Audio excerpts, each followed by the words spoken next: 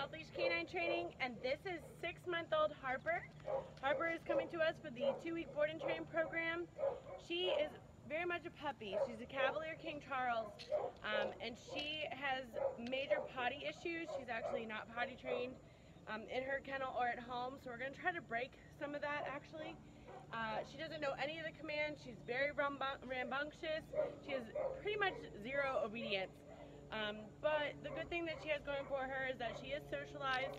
She gets along with other dogs, gets along with people, um, and is really good to her mom. So we're going to definitely work on that obedience. I'm going to work on the potty training a little bit while she's here, but let's just see what she knows this day of drop-off, okay? Harper, come.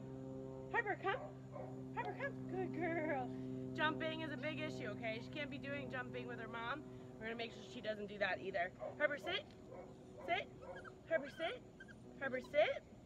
Harper, sit. Sit. Harper. Sit, Harper. Sit. Harper, down. Down. Very sweet. Just wants to give me kisses. Harper, place. Place. Place.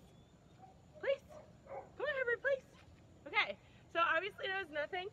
Um, but over the next two weeks, we're going to be working with her and teaching her all the commands and trying to work on that potty training a little bit. And she won't be jumping in the future as he, uh, um, not nearly as much as she is now, that's for sure. Okay, so let's see what she can do in just two weeks.